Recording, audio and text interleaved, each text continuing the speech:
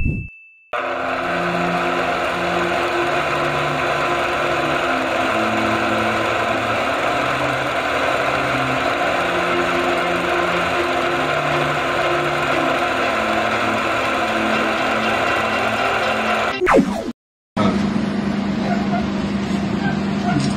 हमारी भगवा संस्कृति का प्रतीक है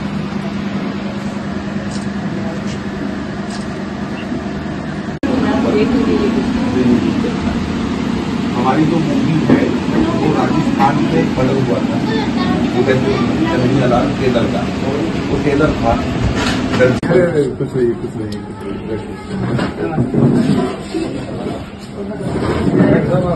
जानी फायरफोक्स की पूरी टीम आज रबुपुरा गई थी और वहाँ हम सीमा हैदर से और सचिन से मिले। उनके परिवार से मिले। हमारी फ़िल्म के जो डायरेक्टर हैं जयंत सिन्हा और भारत सिंह वो टीम में शामिल थे उन्होंने सीमा का ऑडिशन भी लिया। और हम लोगों ने ये पाया कि सीमा के अंदर एक्टिंग का स्किल है। हमने सीमा को बताया पूरी बात बताई और हमने कहा कि आपको हमारी फ़िल्म में ये रोल करना है। जो रोल हमने दिया उसके लिए सीमा ने एकदम खुशी का इजहार किया और सीमा ने कहा कि मैं अ, फ़िल्म के लिए तैयार हूँ और आपने मुझे फ़िल्म का रोल दिया है ऑफ़र दिया है इसके लिए मैं आपका धन्यवाद अदा करती हूँ। तो जब मैं पहुँचा वहाँ पे तो सबसे पहले मैंने सीमा को शोल उड़ा के, चूँकि वो हिंदू धर्म में शामिल हुई हैं तो एज ए हिंदू मेरी ज़िम्मेदारी थी कि मैंने उनको भगवा सोल उड़ा के अपने धर्म में उनका स्वागत किया। तो उन्होंने हिंदू संस्कृति और भारतीय संस्कृति के हिसाब से, जैसे अदब के साथ में, आदर के साथ में बड़ों के पैर छुए जाते हैं, ऐसे ही पैर छू के आशीर्वाद भी लिया। तो मुझे लगता है, मुझे देखने में कहीं लगा ही नहीं कि ये पाकिस्तान की सीमा है। मुझे लगा ये तो भारत में पैदा हुई, जैसे कोई लड़की होती है संस्कारी वैसी लड़की है। तो मैंने उसको बताया कि ये रोल है हमारा और उसने सहमति जताई है। हमारी फ़िल्म में हमने उसको जो रोल दिया है, वो रो एजेंट का दिया है। क्योंकि ये मूवी ट्रू इवेंट है। ये रियल स्टोरी बेस मूवी हमारी है। उदयपुर में कन्हैयालाल साहू जी की जो हत्या हुई थी 2022 में, उस पर ये फ़िल्म बन रही है जानी फायरफॉक्स की ए टेलर मर्डर स्टोरी तो चूँकि उनकी हत्या जब हुई थी कन्हैयालाल साहू जी की तो एनआईए ने राजस्थान पुलिस से केस को टेक ओवर कर लिया था। और एनआईए ने कहा था कि सिर्फ़ दो लोग जो हत्या में शामिल हैं, वही अपराधी नहीं है, बल्कि 11 लोगों के खिलाफ एनआईए ने चार्जशीट दी थी, जिसमें दो पाकिस्तान के थे, और उन्होंने ये भी लिखा है कि पाकिस्तान में कुछ मुजाहिदों की ट्रेनिंग भी हुई थी, और पाकिस्तान से कुछ लोग भारत भी आए थे। तो इसीलिए हमारी मूवी में जो दो सवा दो घंटे की मूवी है, कुछ सीन दस पंद्रह सीन पाकिस्तान के भी हैं। और हमने दिखाया कि पाकिस्तान में किस तरह से भारत के खिलाफ षड्यंत्र और साजिश की गई तो हमने एक हमारी मूवी में किरदार है रो एजेंट का। भारत की एक एजेंट है जो आ, पाकिस्तान से गुप्त सूचनाएँ पाकिस्तान क्या करना चाहता है भारत के खिलाफ क्या षड्यंत्र कर रहा है भारत के खिलाफ वो सब आईबी को और हमारी भारत सरकार गृह मंत्रालय को बताता है। तो जो रो एजेंट हमारी मूवी में हैं जब हमने उसके लिए ऑफ़र किया और हमारे जो डायरेक्टर थे भारत सिंह और जैन सिन्हा उन्होंने ऑडिशन लिया तो हमें लगा कि ये कर लेगी। तो वैसे तो रियल लाइफ में तो आ, शक है सबका संदेह है सबका कि सीमा हैदर कहीं आईएसआई के एजेंट तो नहीं पाकिस्तान की जासूस तो नहीं। लेकिन हमारी रियल स्टोरी जो है फ़िल्म जो हमारी है उसमें जो सीमा का किरदार हमने दिया है ऑफ़र दिया है वह रॉ एजेंट का है। और ये फ़िल्म अब बस शूट शुरू हो जाएगा।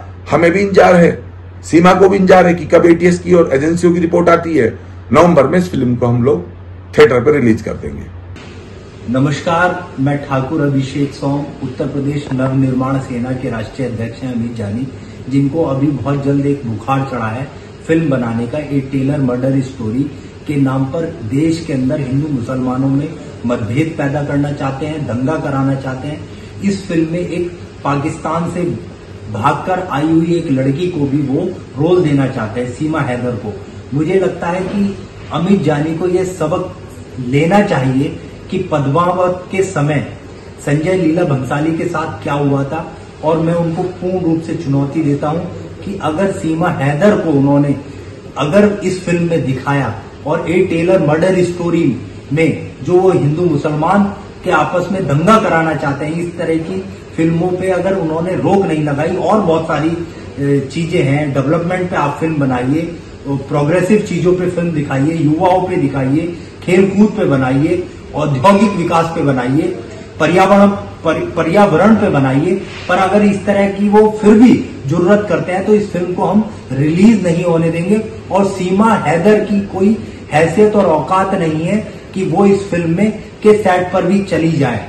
ये बिल्कुल स्पष्ट है, ये कहीं ना कहीं इनका षड्यंत्र है। ये पॉपुलरिटी ये चीप पॉपुलरिटी के माध्यम से अपनी फ़िल्म को पॉपुलर करना चाहते हैं, करोड़ों अरबों रुपए कमाना चाहते हैं और हिंदू मुसलमान के अंदर ये दंगे कराना चाहते हैं। इस इस बात को हम कतई बर्दाश्त नहीं करेंगे। पाकिस्तान से भारत आई सीमा हैदर को फ़िल्म में ऑफ़र देने का मामला गर्माता जा रहा है। इस मामले में जानी फायरफॉक्स मीडिया लिमिटेड के प्रबंध निदेशक अमित जानी और समाजवादी पार्टी के नेता अभिषेक सोम आमने सामने आ गए हैं। अमित जानी ने जहाँ ट्वीट कर एसएसपी से इस बात के लिए एक्शन लेने को कहा है कि अभिषेक सोम फ़िल्म की शूटिंग रोकने का प्रयास कर सकते हैं। तो वहीं अभिषेक सोम ने आरोप लगाया है कि अमित जानी समाज में भड़काऊ संदेश दे रहे हैं। गौरतलब है कि अमित जानी अ टेलर मर्डर स्टोरी नाम की एक फ़िल्म बना रहे हैं, जिसकी शूटिंग सितंबर में शुरू होनी है। कैमरा पर्सन अभिषेक शर्मा के साथ उमेश श्रीवास्तव न्यूज़ एटीन मेरठ।